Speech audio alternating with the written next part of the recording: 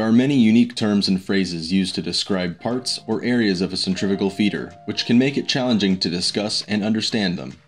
In this video, we'll describe some of the most common centrifugal feeder terminology, so that you have a better understanding of what they do and how they work.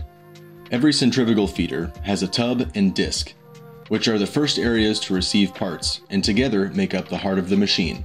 Combined, they make what is commonly referred to as the bowl.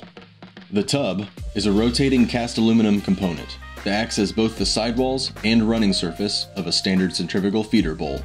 The disc, positioned in the middle of the tub, is the rotating and often tilted component that acts as the bottom of the feeder, often made from ABS plastic. The loading area is the area of the feeder system where the surface of the disc and tub top surface meet. For scallop feeders, which we'll learn more about later, the loading area is where the disc and upper scallop meet. The idler stack is a stack of gears and shafts that transfer, reduce, and regulate the speed of rotation from the driving motor to the several rotating components of a centrifugal feeder. If the tub and disc are the heart of a centrifugal feeder, the tooling components are the brains.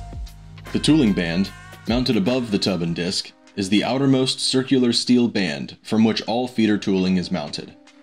The tooling ring, or backup ring, is the inner circular steel ring that acts primarily as the boundary for the parts moving on the running surface.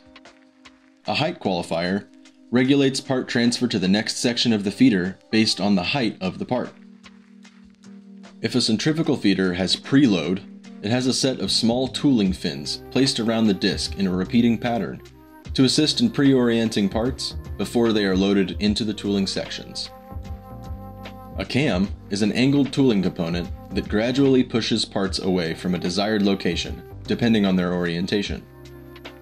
A Bernoulli airjet, named after the famous mathematician, is a tooling feature that, based on a set of physical part conditions, creates a vacuum effect for certain part orientations and a blowing effect for other part orientations. The discharge of a feeder system is the feeder system's part output. Only correctly oriented parts leave this section. A C-track is a tooling component added to the discharge of a feeder, which can quickly and reliably flip parts from top to bottom to achieve the final orientation. Another common, but more complicated style of centrifugal feeder is called a scallop centrifugal feeder, which is better suited for cylindrical parts or parts with a high length to diameter ratio. For this style of centrifugal feeder, the upper scallop acts as a staging section for sorted but not fully oriented parts. The lower scallop holds fully oriented parts as they move around the circumference of the feeder toward the discharge. Shelves are the surfaces below the scallop portions that serve as the running surface of scallop style centrifugal feeders. This is the surface that will, in most cases, interface with the output conveyor. A puck is a recirculating, reusable, and high wear part holder that allows high speed part movement for irregularly shaped or tall parts.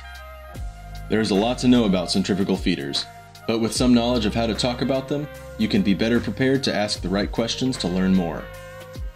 Visit HoosierFeederCompany.com for your parts feeding needs and stay tuned to Feeder University for more in depth information about the process automation world. Thanks for watching.